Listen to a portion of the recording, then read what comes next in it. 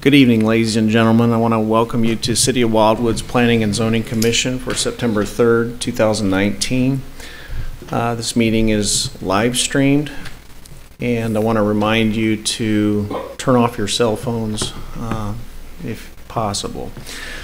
On tonight's agenda, we have one public hearing item, one information report, one action of resolution of the Planning and Zoning Commission, one correspondence item, and one site development plan recommendation. Um, Can I have a roll call of commission members? Commissioner Helfrey, Here. Commissioner Levitt, Here. Commissioner Cohn, Commissioner Gragnani, Commissioner Beatty, Here. Commissioner Deppler, Here. Commissioner Simpson, Chair Lee, Present. Councilmember Werther? Present. Mayor Boland. Here. Thank you. Thank you, Mr. Newberry. Um, Let's see, I'll bring up the approval of uh, the minutes from August 19th. Um, Commissioner Grignani, motion to approve. I have a second. Commissioner Beatty. All those in favor say aye. Aye. Opposed? Abstentions? Abstain. Okay, one abstention. Commissioner Levitt.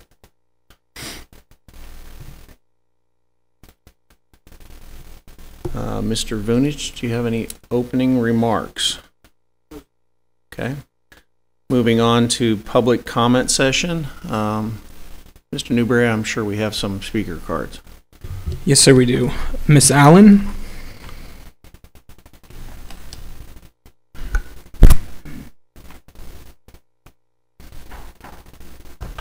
Hi, Victoria Allen, 1651 Idle Rock Farm Road. Uh, I think I would have been a little bit better prepared if I, had I known uh, Barbara Springer wasn't going to be here because she truly is the expert and has been throughout the years. I moved here in 1993. Life was wonderful until 1994 when I found out where I lived. And it has not been good since then. There isn't anybody that lives in the area surrounding Russell Bliss's property or the Bliss Ellisville site that would live there had they known what was there. Uh, I, I recall a man that I spoke to who lives in a house that overlooks Russell Bliss's place. He's from another country. He was the only one in the family that spoke English. And he just looked at me and he said, I didn't know. And the real estate agents are complicit in selling people property that is adjacent to this. If this piece of property is developed, these people are going to be living next door to one of the worst Superfund sites in the country. And they're never going to be able to sell their property unless they're dishonest and they're, you know, and they're not going to tell the guy, the next guy, they'll say everything is fine. I have a neighbor that just bought a piece of property and he wasn't told where he was purchasing. And he went to the real estate agent who was sued for selling property that was no, of known contamination. And he cried. It's ruining his marriage. And there's nothing he can do. He's stuck. And if he's honest, he can't sell that property because it's right next to one of the worst Superfund sites.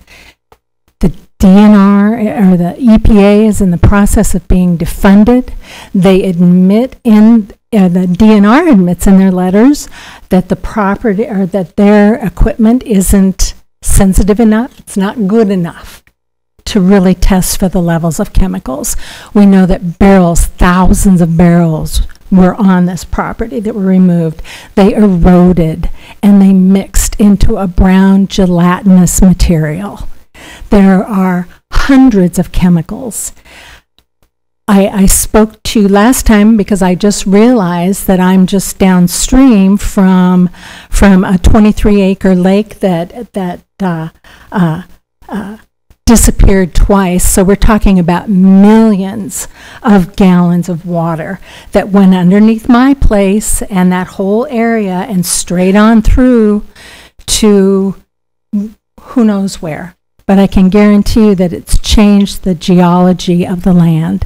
But that doesn't mean it washed anything away because we're not talking about water soluble poison. We're talking about stuff that's made to last, and who knows even really what it is. Uh, the, the wells continue to be contaminated.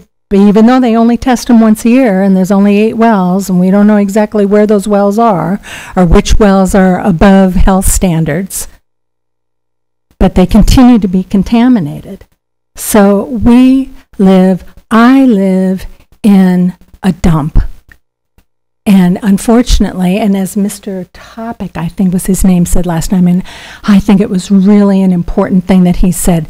The EPA wants to be done with it. They're, they're in the process of being dismantled by the feds. So they're going to let go of it.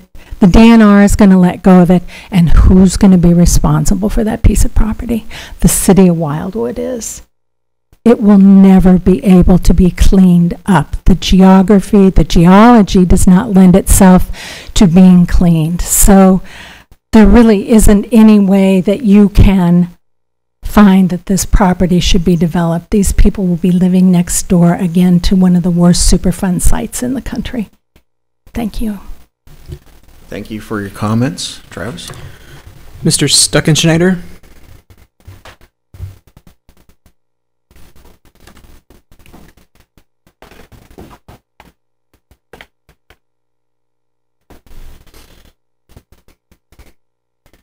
Good evening.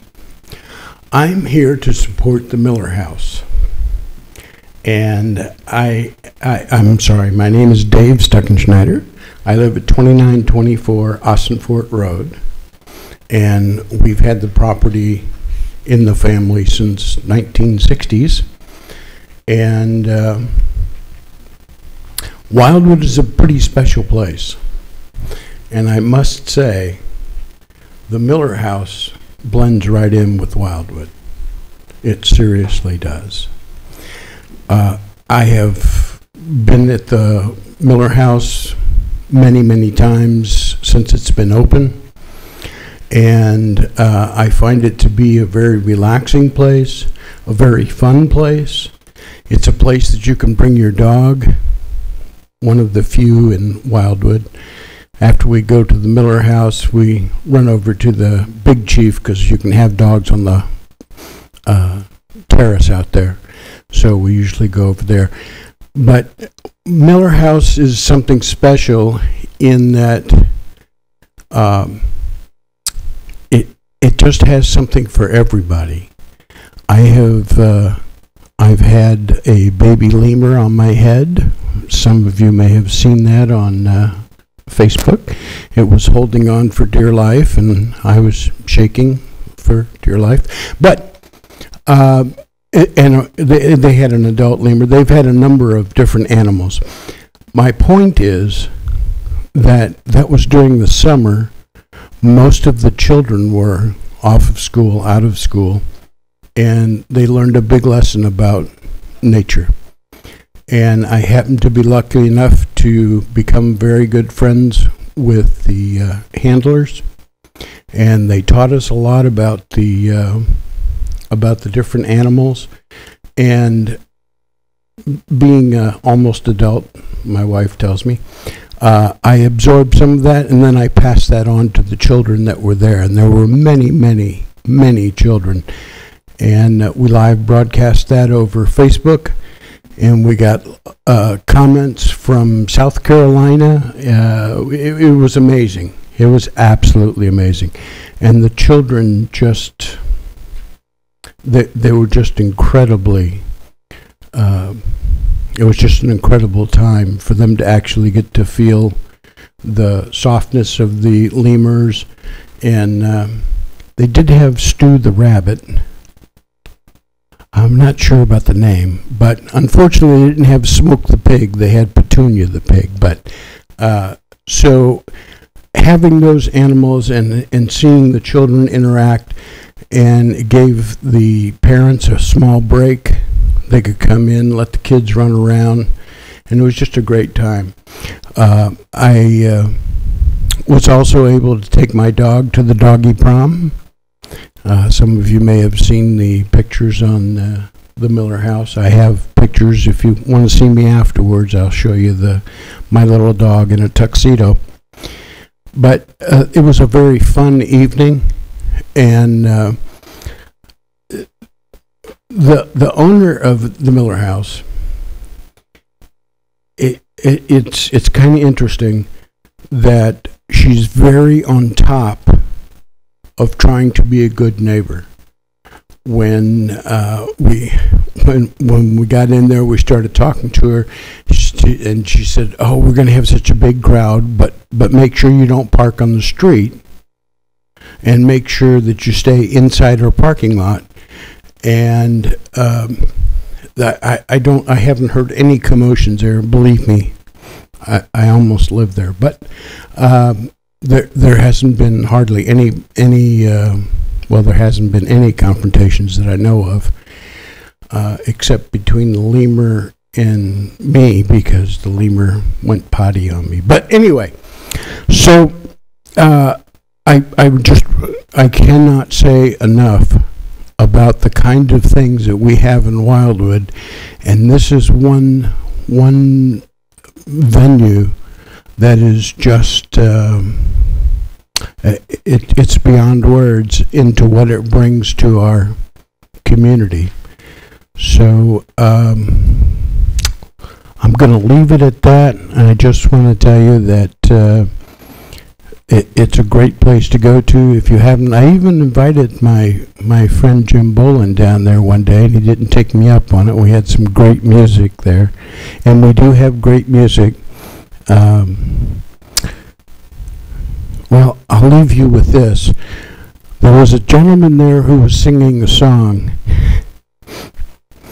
and he was just wondering how you milk an almond his wife is a is a health freak and she uses almond milk and he was just wondering in the song how you would milk an almond. But anyway uh, it's a great place. Thank you very much. And uh, as far as i'm concerned which i have one more thing. I'm sorry and just Columbo one more thing. You know i i get people to go there. I i have friends all over st louis and uh, as I said, I've invited different people to come there. But the one thing that I find is frustrating is when they finally get there, they always ask me why there wasn't a sign on Manchester Road showing that it was behind this building. So if we could maybe have the permission to put a sign out there, that would be really wonderful. Because then I could tell them instead of go to the porch, do you know who the porch is? Do you? Does everybody know the porch? Well, my friends from outside of Wildwood don't know what the porch is. They'd stop at every porch and turn left. But anyway, so we do need a sign. That would be wonderful. Thank you so much. Thank you for your comments. Mr. Rich, or Travis, go ahead. Ms. Miller?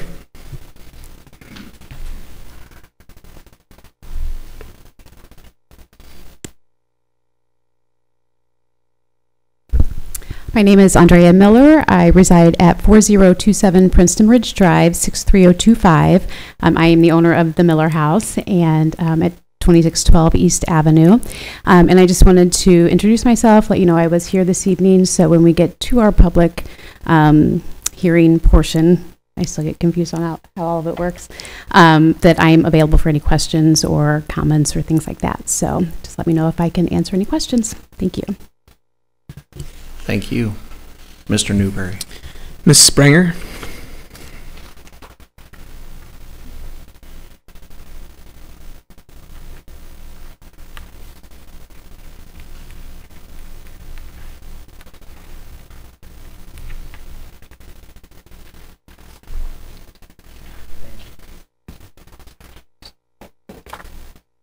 Barbara Springer, 84 Strecker Road. Look at Figure 1, Soil Gas Levels Map. As discussed at our la- your last meeting, existing data confirms that the northeast corner of Strecker Forest is equally contaminated as the Wade Simmons with contaminated soil, chemically saturated bedrock, contaminated groundwater, and dangerous levels of soil gas that continually rise into the ambient air as toxic vapors. Not only are these reasons sufficient for supporting the moratorium, but they also suggest that perhaps this area of the Bliss stream bed was not removed in 1996. I am not an attorney, but there may be one legal issue that could block the moratorium. The Figure 2 new proposed decision units is from the Tetra Tech 2013 Addendum Sampling Plan. This is the only map that illustrates the overlap of DU 48 on DU 39. The EPA's failure to notch out DU 48 around DU 39 was not a mistake. They performed surface soil sampling on DUs 45 to 48 for only dioxin. These DU areas were remediated in 1996 and restored to grade with clean backfill soil. In other words, the EPA sent clean soil to the lab and then boasted that the former cleanup had been effective in meeting the cleanup goals. Overlapping DU 48 on DU 39 appears intentional. Look at the Figure 2 study area map and note the NPL boundary. Now compare it to the Strecker Forest covenant map and note how it ex- extends all the way into the northeast corner. When the removal action stopped south of the NPL line, the Bliss stream bed, and the corner as intended. In the EPA's March 10, 2014 letter, they stated, "The creek stream areas fall outside the area evaluated for this site and this removal action. Therefore, the area with diagonal lines representing the work zone perimeter is erroneous." When questioned, the EPA wrote on March 9, 2015, quote, "The Strecker Forest Covenant was executed so that the northeast area of this development property could be efficiently captured in a post-removal one-time transaction. Nice sounding explanation, but what it actually accomplishes is positioning the city into inadvertently accepting the horrendous condition of the Wade Simmons to be placed under a covenant rather than addressing the environmental problems to protect public health. The Bliss Covenant map covers only the removal action area. I hope that the P and Z recommendations support the moratorium and request the correction to the Strecker Forest Covenant so that it too is restricted to only the removal action area. Thank you for your attention. Thank you. Mr. Newberry. Ms. Stuckenschneider?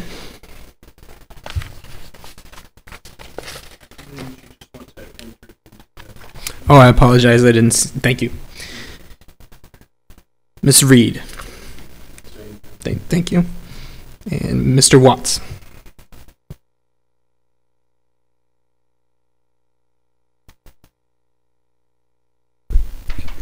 Um, Dan Watts at 314 Hutchinson Road. Um, this site on the, or the Bliss property should really never be developed, especially not for residential development. After reading the reports, especially the report from the Missouri Department of Natural Resources, it's clear that the lab tests were not specific enough to provide conclusive evidence about dioxin presence. The groundwater and surface samples also prove the presence of other soil contamination like the VOCs and SVOCs. Disturbing the soil here proposes a real risk for groundwater and runoff water contamination in the area, and the potential for airborne contamination particularly concerns me. Um, I grow all my food in my backyard and ensure that it's all organic, but I'm greatly concerned that this contamination will spread to our backyard since we are downwind from it. Also, ba- basements will need to be need to be dug out and increase the risk of spreading the contaminated soil as well. Those dump trucks and construction trucks will also spread this contaminated soil all over the Wildwood and Ellisville area. We were looking to start a family at our current home and then maybe upgrading and moving to different parts of Wildwood. At this rate, we are not considering that area as well. Um, if Wildwood approves this, they will send a message that they value the pocketbooks of real estate investors and developers more than the safety and well-being of the community that they are trusted to protect. Thank you. Mr. Newberry. I have no further speaker cards. Mr. Vujnich, should I move ahead and do the public hearing script? Okay. Tonight's uh, public hearing. In the city of Wildwood, public hearings are truly intended to accept comments and questions concerning this item. Since this is a public hearing and is only intended to provide information on this request, no action is planned on this item tonight, and consideration of it is to be taken no earlier than October 7th, 2019. City of De- Department of Planning will address the comments, questions, and concerns that are raised tonight and include them as part of their formal recommendation to the Planning and Zoning Commission. Public hearings are conducted as described in the handout provided on the table in the reception area, along with information on this matter. The commission will allow our parties adequate time to present their positions and ask that you respect all opinions by other speakers and avoid interrupting anyone during their time at the podium. Persons wanting to speak or receive future information on this item should fill out a speaker's card and leave it with Mr. Newberry. In addition, information on this item can be found on the city's website at www.cityofwildwood.com. The commission would like to thank you for your cooperation and participation in tonight's hearing. Mr. Vujnich. Thank you, Mr. Chair. Mr. Chair and members of the Planning and Zoning Commission, before the department begins a very brief explanation of this request, it would like to enter into the record the following items. The City of Wildwood Charter, Chapter 415 of the City of Wildwood Municipal Code, the zoning ordinance, the file that has been developed and maintained by the Department of Planning regarding this particular request for a conditional use permit, and then finally, any testimony or other exhibits and items provided as part of tonight's hearing. Mr. Chair and members of the Planning and Zoning Commission, today Mr. Newberry and I learned that the petitioners have been considering a alternative location for the placement of the ground-mounted solar panels.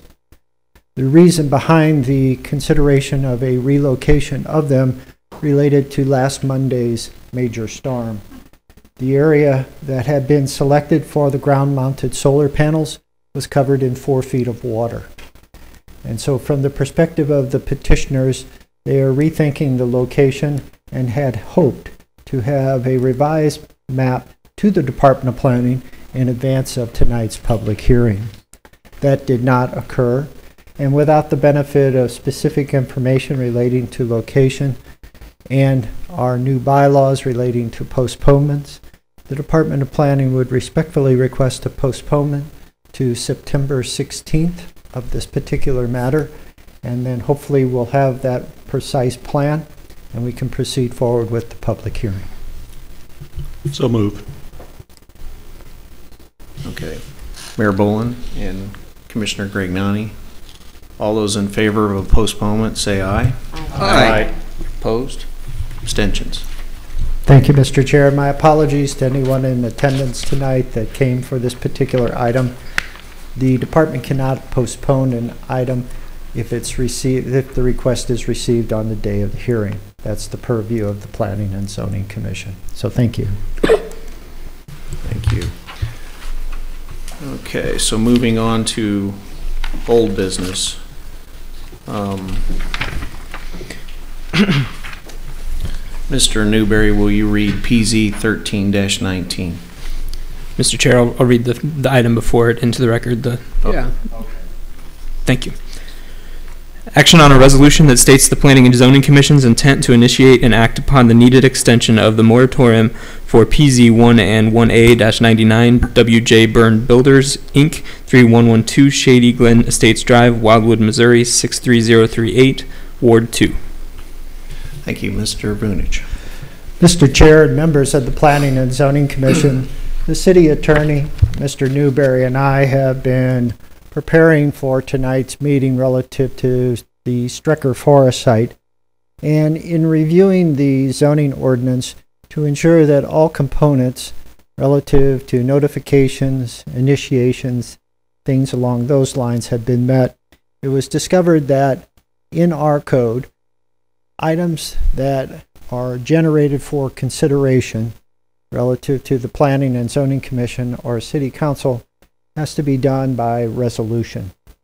And so tonight, in advance of the department's presentation of its information report with recommendation, the city attorney and the Department of Planning have prepared a resolution authorizing the August 5th, 2019 public hearing that was conducted approximately two weeks ago. Mr. Young, our city attorney, may want to add more to the presentation. This is more of an administrative approach just to ensure that every I is dotted and every T is crossed. Thank you, Mr. Vujnich. Um, I have a recommendation to accept the department's resolution. Commissioner Levitt. Second. Second by Councilman Werther. Roll call vote. Commissioner Helfrey. Yes. Commissioner Levitt. Yes. Commissioner Gragnani. Yes. Commissioner Beatty. Yes. Commissioner Depler. Yes. Chair Lee. Yes. Councilmember Werther, Aye. Mayor Boland. Yes. Passes. Okay, Thank you. all right, move on to PZ thirteen nineteen. Travis, if you could read that. PZ 13-19, City of Wildwood, Missouri, six, one six eight six zero, Main Street, Wildwood, Missouri, six three zero four zero, care of Department of Planning. A request for the presentation of a recommendation by the Planning and Zoning Commission upon an item relating to an extension of a moratorium that is associated with PZ one and one A ninety-nine, WJ Byrne Builders, Inc., three one one two, Shady Glen Estates Drive, Wildwood, Missouri, six three zero three eight which incorporates an approved planned residential development overlay district that authorizes 23 authorizes a 23 lot residential subdivision located on a 18.33 acre tract of land being situated on the north side of Strecker Road east of Inglebrook Drive. Locator numbers 22U 240024, 22U 330031, and 22U 330062. Street addresses 177 Strecker Road, 165 Strecker Road, and 173 Strecker Road. Given the current stay on the issuance of permits for the development of the site in accordance with the approved site development plan, has been in place for over 11 years, but still requires certain determinations and actions relative to the subject tract of land, Ward 2. Thank you, Mr. Newberry. Uh, Mr. Vujnich. Thank you again, Mr. Chair. Mr. Chair and members of the Planning and Zoning Commission, the Department of Planning has prepared for your consideration tonight a information report with recommendation regarding the request to continue or extend the moratorium relative to the Strecker Forest site. At the public hearing, the Department of Planning and many of the speakers that spoke during the hearing itself identified data gaps that exist relative to Strecker Forest, the Ellisville Bliss site, and other locations in its vicinity. These data gaps have been the root, in many regards, to the ongoing concerns that the city of Wildwood has regarding development of any properties that are on the national priorities list or adjoin or abut the same. These data gaps have been tried to be filled over the course of the last 11 years. And you heard even tonight from one of the residents that there still is missing information that the city lacks relative to important testing that should have been done, may have been done, or has not been done. Also, besides just the fact that the moratorium allows us the opportunity to work with the federal and state governments to uncover and to develop the information that has been sought by the city and others for the past 11 years. It also gives the city an opportunity to consider a new overlay district, one that would be applied to sites such as the Ellisville Bliss locations that are within the city of Wildwood, as well as Strecker Forest and the Callahan property. We have a planned residential development overlay district, the PRD. We use that extensively in town center and other locations throughout the community.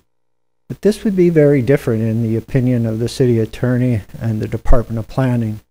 It would provide the basis for that understanding of information, the provision, more importantly, of that information, and then ensure that whatever ultimate decision is made, those that are involved are given full knowledge of the risk and have an opportunity to understand what they are buying or what they are not.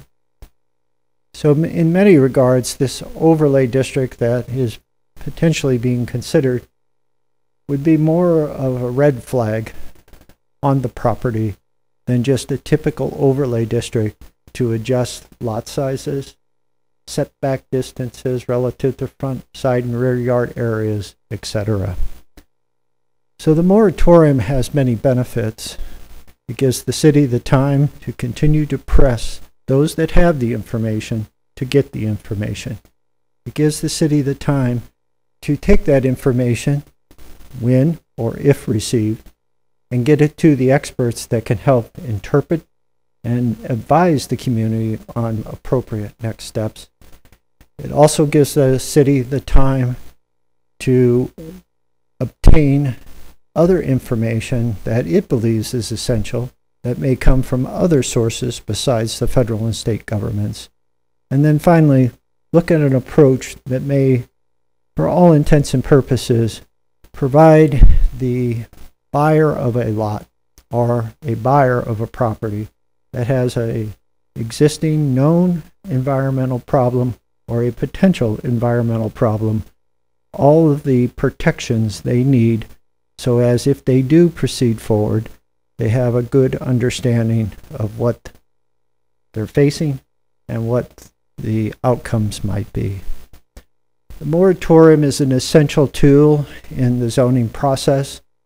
It's only used by the city of Wildwood on very infrequent occasions, but it has always been used when the public safety and the necessity was such that additional time was necessary to ensure that decisions that were made or are going to be made are made with the best available information and in a time frame that allows that information to be understood, processed, and then disseminated to the community for the benefit of all.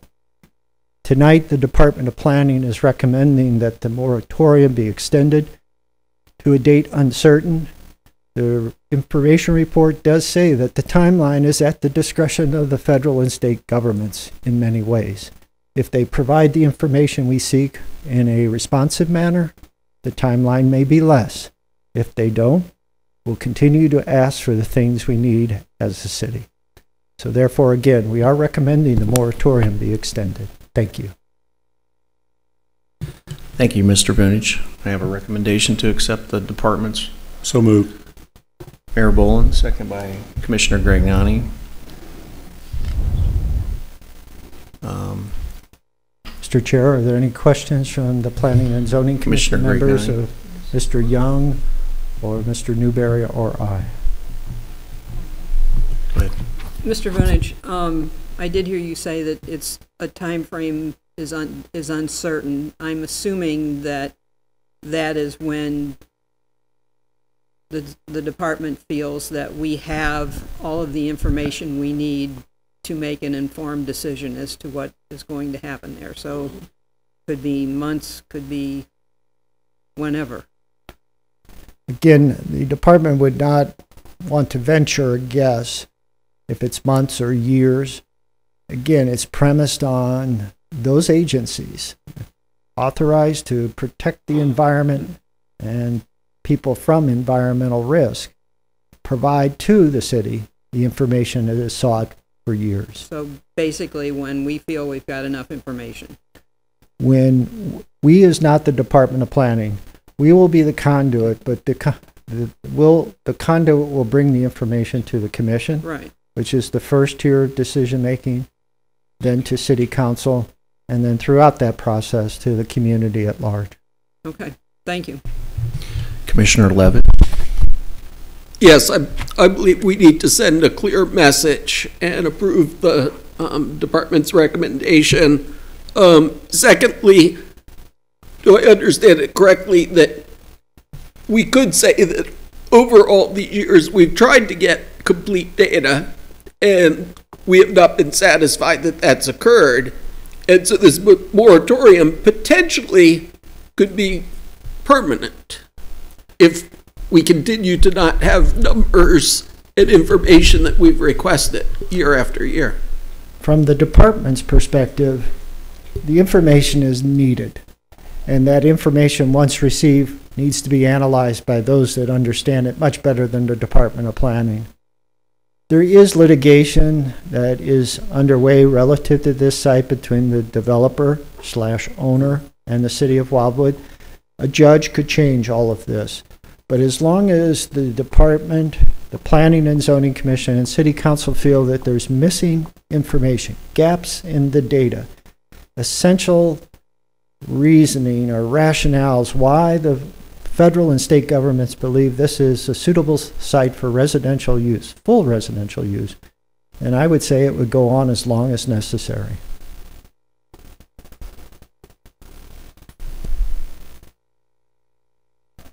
Seeing no further comments, uh, roll call vote.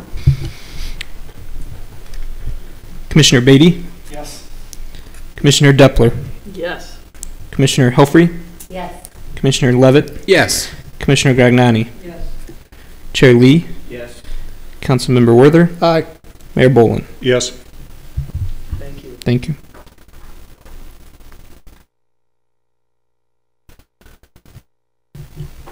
Okay, moving on to new business. Mr. Newberry. Yes, sir.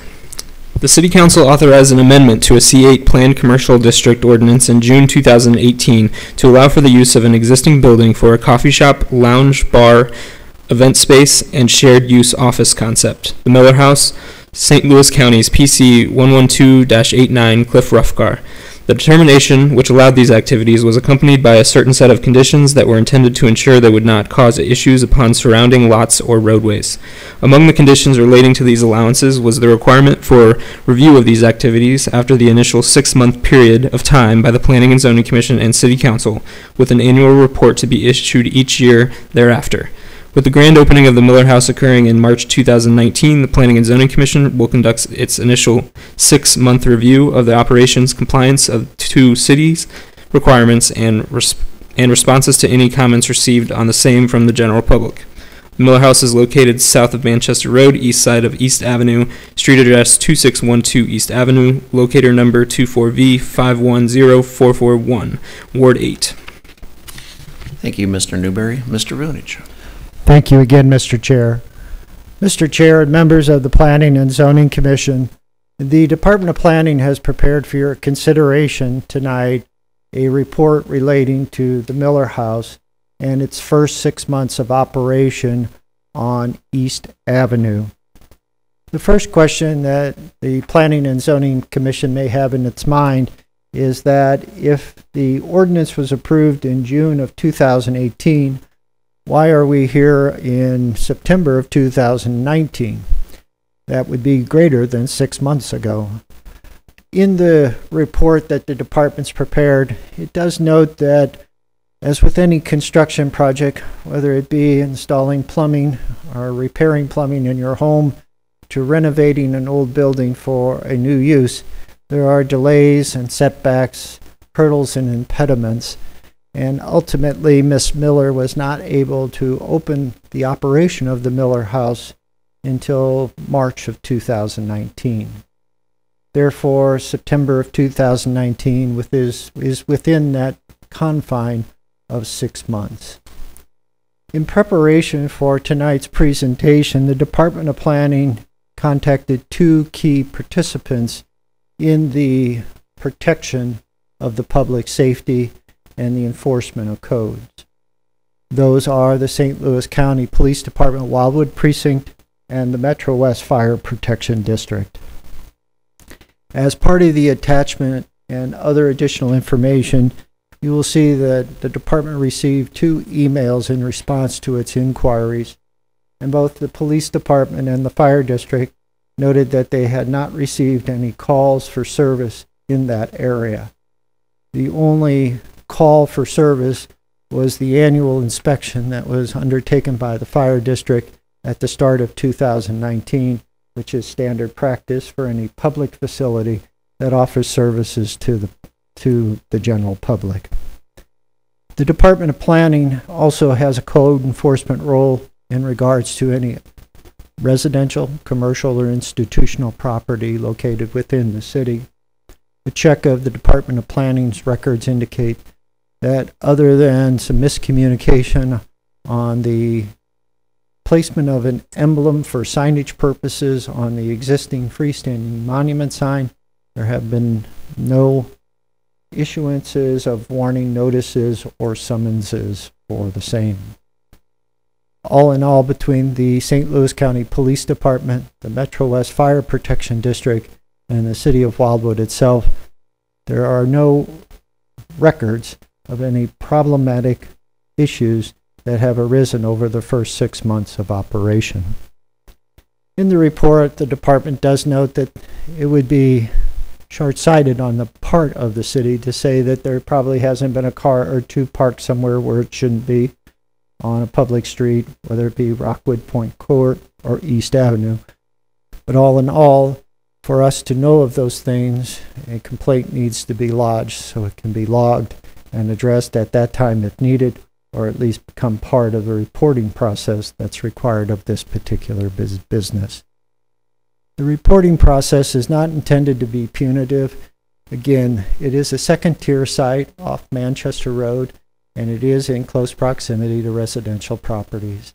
Both the Planning and Zoning Commission and City Council, along with Ms. Miller, thought that to ensure that people would know that it is a good use and appropriate use, agreed to this condition and have moved forward with it as such. So tonight, the department is presenting what it believes is a clean report relative to the operation of this facility at this town center location. I would note that under the current ordinance, each year an annual report will be required. So sometime in September 2020, the department will return with an updated version of what you have tonight. If there are any questions of the Department of Planning, the city attorney, or Ms. Miller, we'd be glad to address them at this time. Thank you. Thank you, Mr. Vujnich. I have a motion to accept department. Uh, Mr. Beatty. Second by um, Councilman Werther. Any discussion? No discussion? Um, Roll call vote. Commissioner Levitt, Yes. Commissioner Gragnani, Yes. Commissioner Beatty, Yes. Commissioner Depler, Yes. Commissioner Helfrey, Yes. Chair Lee, Yes. Councilmember Werther, Aye. Mayor Bowlin. Yes, and Mr. Chairman, I have a question for Joe. Mayor Bowlin. Joe, relative to the requirement that year after year this come back, comes back to the commission, do you think it would be worthwhile for you to provide the commission with a review, given the history that we now have as to whether that requirement is, um, I guess, remains warranted? That's a very good question, Mr. Mayor. As you know, we had a very similar requirement for the Big Chief Roadhouse after they had been authorized for limited live music on their patio area. We went through several years of annual reviews. Um, for the most part, the neighborhood had accommodated it.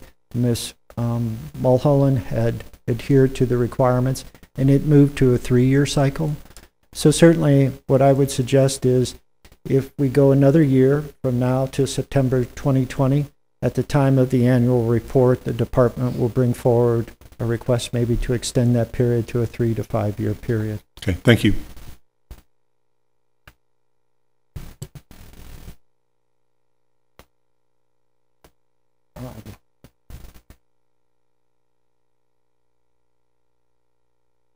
Mr. Newberry, are you reading the site development plan? A recommendation report for a new monument type sign for New Community Church, St. Louis County's PC 26-91 New Community Church, which is required, given its current representation, will be removed from its existing location by the City of Wildwood as part of its Phase 3 Manchester Road Streetscape Project, amended C8 Planned Commercial District, north side of Manchester Road, west of Taylor Road, roundabout.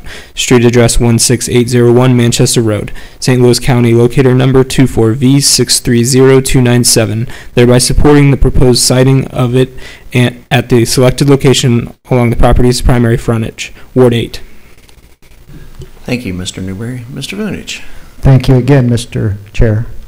Mr. Chair and members of the Planning and Zoning Commission, the Department of Planning has prepared for your consideration tonight a recommendation regard, report regarding a amended site development plan for New Community Church.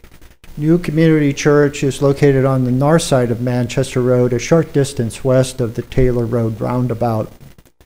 The property has a long history, and that history is developed briefly in the report that's been provided for the Commission's consideration tonight. It was originally a dinner theater location called The Barn. It became Bubba Coy's Fish uh, Restaurant, and then ultimately now New Community Church. If you see the exterior of the building or go inside the facility itself, you would be hard pressed to realize it was anything but a church for many, many years.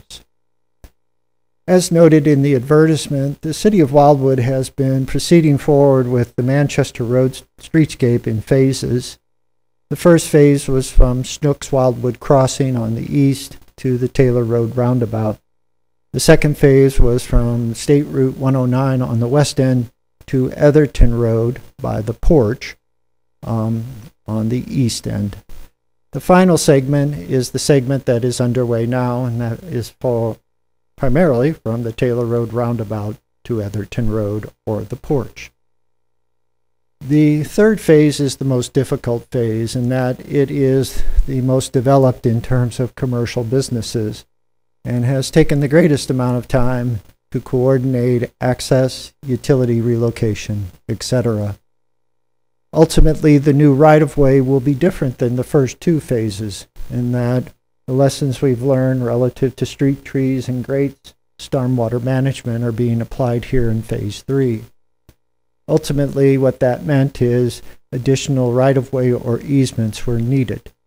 Those additional right of way or easements ultimately meant, in the case of New Community Church, its sign had to be relocated. The City of Wildwood is working closely with New Community Church on this sign relocation. This sign itself has been authorized by the Board of Adjustment relative to a setback variance. And now tonight, per the site-specific ordinance that dates back to 1991, the Planning and Zoning Commission must approve the location of the sign. There's a little quirk to all of this. The existing sign is located in Manchester Road right-of-way, always has been, given the slope of the site, would make it difficult to see it if pushed further to the north into the parking area. Obviously, placing it in the parking area, it becomes an obstruction relative to either a parking space or two, or the drive aisle itself. The new sign location is also in the public right-of-way. The Director of Public Works has the authority to authorize that, but the governing ordinance gives final approval to the Planning and Zoning Commission. So tonight, that is why the sign via an amended site development plan is before the commission for consideration. Regardless of the authority of the Director of Public Works, the site-specific ordinance gives that final authority to the commission. This has been worked through with the city's engineer that's engaged for Manchester Road Phase 3 streetscape. This has been worked through between the Department of Public Works and New Community Church. The Board of Adjustment of the City of Wildwood has authorized a zero-foot setback, which is the most it can grant relative to the placement. And tonight, the department is recommending approval of the sign location. It is important to note it will be behind the sidewalk or to the north of the sidewalk and will be verified for any site distance considerations.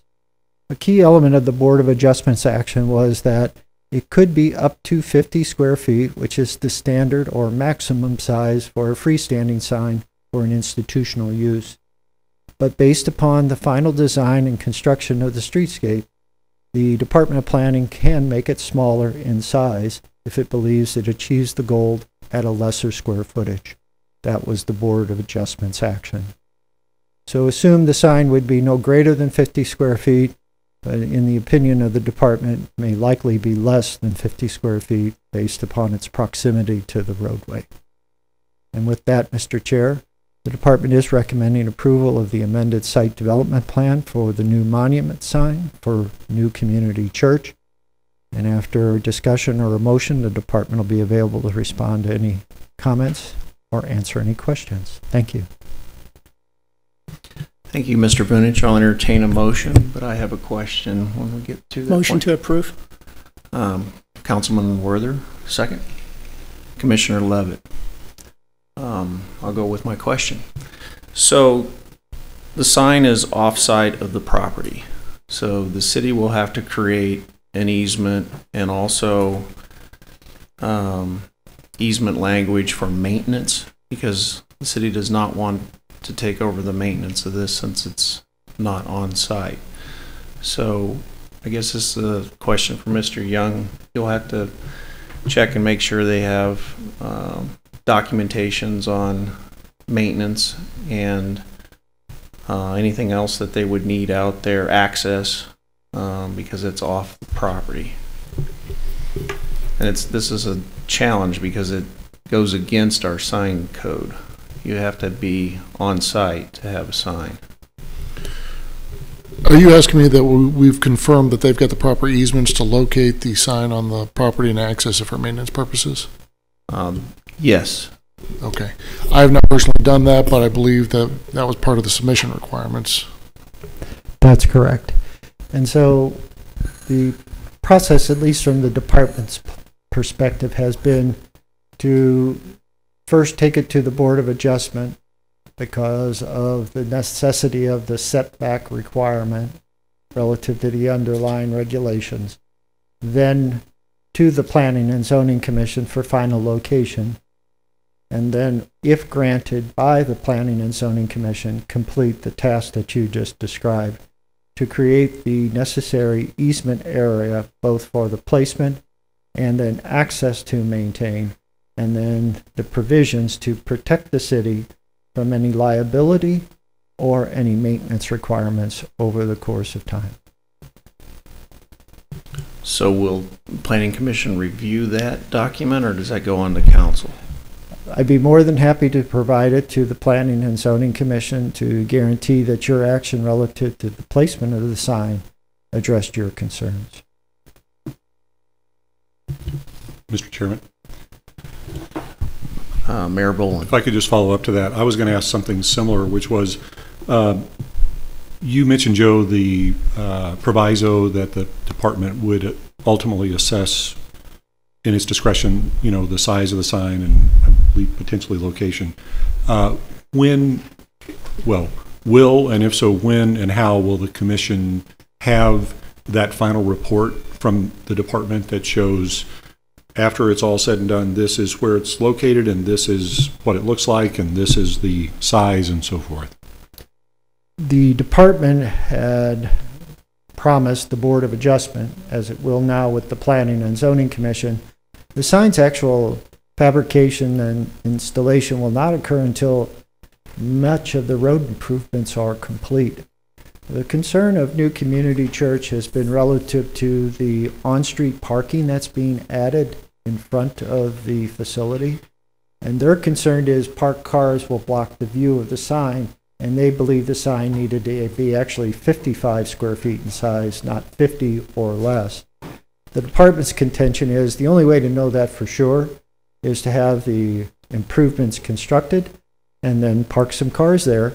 And if it is what you think it is, then you get 50 square feet. If it's not, you'll receive less. So once, once we get to that point, The department has no problem bringing that information back to the Planning and Zoning Commission for its input and action. If there's no objection from the depart, or from the commissioners, I would ask that you, you do that. And then just um, one other question. Um, The vote on the Board of Adjustment was, was it unanimous or, Yes, sir. okay. And this is just a suggestion, not a criticism. Uh, Going forward, when we have a board that, rep- you know, that has voted, if we could get that statement, or if it is a a divided vote, who they were and what wards they represent, so we have that. So, no no biggie, just would be a little helpful sometimes, so, It's an excellent suggestion. I wish I had thought of it. Uh, no worries. All right, thank you, We Mr. will do that from now on. And what I'll do is I'll send the minutes of the meeting and the application that was signed by the chair of the board via email once I get out of jury duty. Thank you so much. Seeing no objections, we'll add Mayor Bowlin's comments. Uh, Commissioner Greg Nani.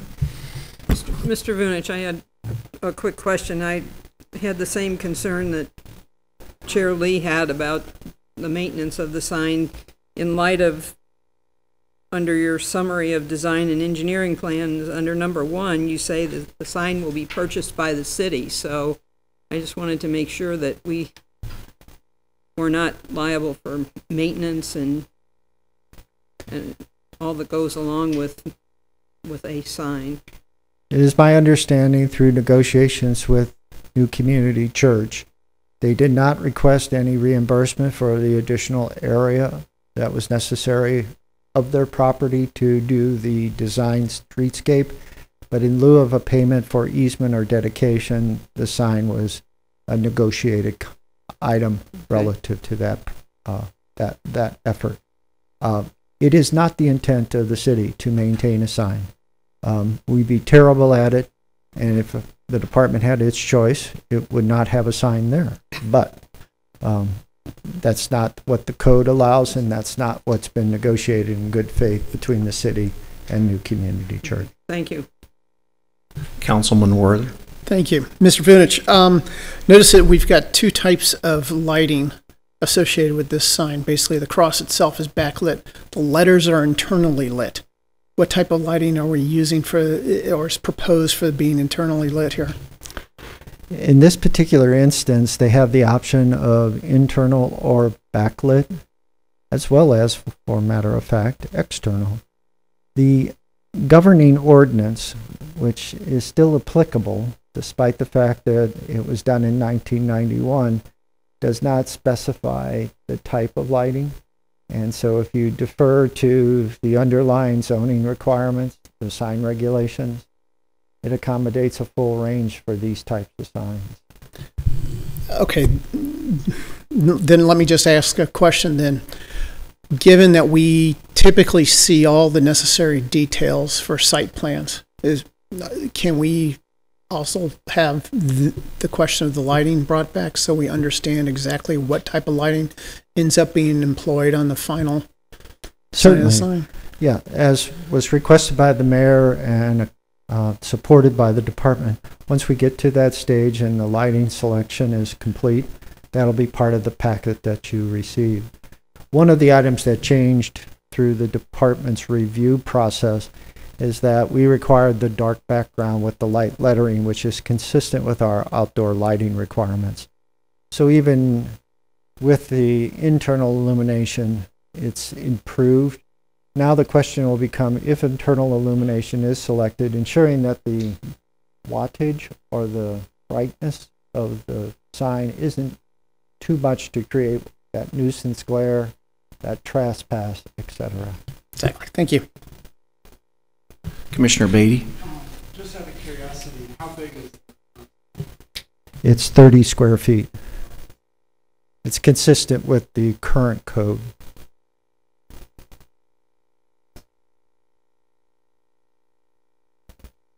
Yes. Well, actually have received it from the Board of Adjustment at this stage. But I will note that part of the rationale for the support, I believe, by the Board of Adjustment is that previously there used to be wall signage in conjunction with the other uses. That was removed. There's no wall signage now. So they felt that, um, that this was an appropriate approach. I can guarantee you that we'll look long and hard at the final size. Obviously, there's a difference between 30 square feet and 50 square feet, as you've mentioned, Mr. Beatty. Yeah, Uh, I've got the site up on Google Street View. I'm looking at it. Guess I get the, if, with parking, I get the desire for increased area. Is there a height limit to, It's under the required 10 feet, it's 9 feet 1 inch. So um, their point being again is that with the parked car, a certain portion of the sign, if the spaces are utilized on the on-street component, that the sign will be less visible than the one that's there now.